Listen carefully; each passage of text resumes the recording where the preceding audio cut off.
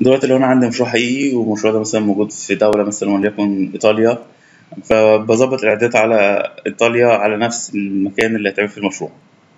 تمام؟ ف محتاج إن أنا كل ما أعمل ملف Revit أروح مظبط نفس الاحداثيات وأكيد طبعا مش تيجي بالدقة اللي أنا عايزها. فالحل ده اللي ده إيه؟ الحل ده بسيط جدا وهو إن أنا هعمل ملف خارجي اسميه مثلا URS. الملف دوت ما فيهوش غير level و grid level و grid level و grid مظبط على الاحداثيات اللي أنا عايزها فعلا. وبعد كده المشروع الملف اللي أنا هفتحه أقول له آه link Revit أسحبه. وبعد كده أقول له من coordinate acquire coordinate وأروح قايل له خد الملف ده ظبط احداثيات المشروع دوت على ال- الاحداثيات ديت. تمام؟ فهو هيبدأ يظبطها. تمام؟ لما أجي أقول له تاني acquire هيقول لي خلي بالك مع نفس الاحداثيات اللي مسجلة عندي. خلاص كده سجلت عنده. طيب. لما تيجي بقى تسحب link Revit ما تسحبش بقى origin origin لا. اسحب by shared coordinate الاحداثيات المشتركة بين المشروع. تمام؟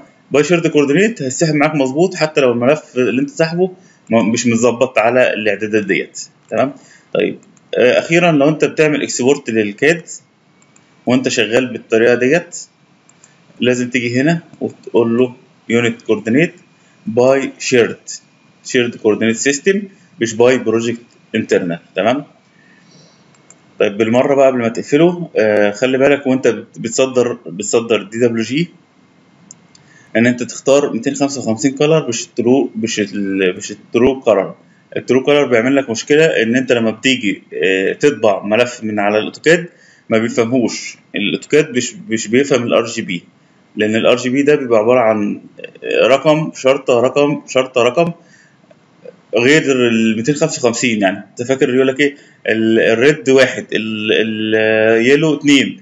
فهو فاهم ال 255 رقم بس لما بيجي هنا ما بيفهموش. فمهما ظبطت ال- ال pen assignment أو ال- الألوان الطباعة بتطلع معاك غلط. فلازم تختارها index color